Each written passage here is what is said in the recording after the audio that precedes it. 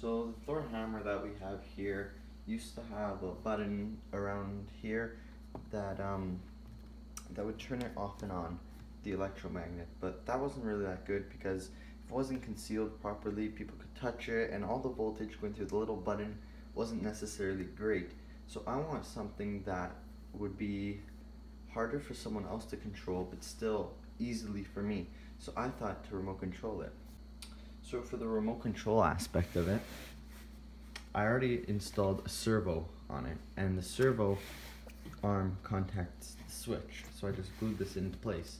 So the servos basically, I thought that would be the easiest because for someone who's a noob at electronics or a noob at just anything in general, servos are pretty easy because all you need is the battery, a controller, and it'll move the servo very accurately. Now this is great, but this is not remote controlled. So we're gonna have to replace the controller with an actual receiver. Now I bought this receiver off of uh, Hobby King and it's like six channels so you can put as many as you want. This is for like an RC plane or anything. But I'm gonna try to use this for the hammer. But to go along with the receiver, you'd also need a controller. So I just bought this universal controller and this one you can program it and everything will be great. So now we just need to figure out how we're going to set all this thing up so that it actually works. Okay, so first as always, it's just the actual battery for the actual hammer. So we're going to plug that in and let's get the metal, the metal thing, there's a piece of metal. You can see that it is off right now. So I can lift it. But if I, as soon as I press this button, it locks on and then we have the grip onto the metal. So we're going to turn that off. Now we need to get this um, receiver and battery all hooked up and attached to the servo. So for the battery, it just says over here ground. There we go, and the LED light should turn on. The servo, I don't know which one to plug it into yet, so I'm gonna turn on my Okay, so as I went away to go to YouTube to just figure out how to bind this thing again, it binded. So now we have a receiver that is binded to the controller. So we're gonna attach the servo to one of these channels on here. And I'm just gonna try to figure out on the controller which one it is. Ah, there we go. So apparently last slot in this um, receiver binds to this button over here.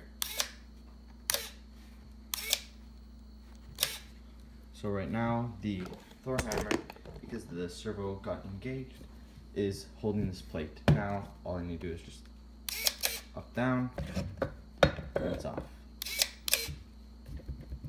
There we go. So now we just need to shove all this inside of the casing, put the battery in, servo and everything. Holy. Put the case on somehow. And I added magnets to the case so that it just is magnetic ties. Throw it on, and there, boom.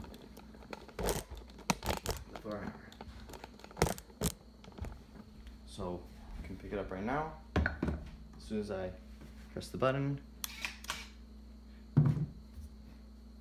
it'll be stuck to the plate.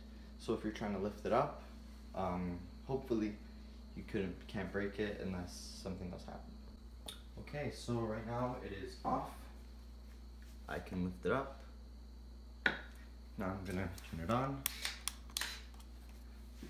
Let's see if I can lift it up. Yeah, absolutely not. But let's say someone else is far away with the remote control. I can lift it up, I put it down, they lock it, someone else tries to pick it up. No way. And that was a really quick video of just an update of where I'm at with this hammer. I'd love to make one actually out of metal, so it's a bit, uh, bit sturdier and stronger, but that might come a bit later. So just also, here's where the servo is. It's just glued to the side of this button so that when it actually, so when it engages, it'll turn on and off.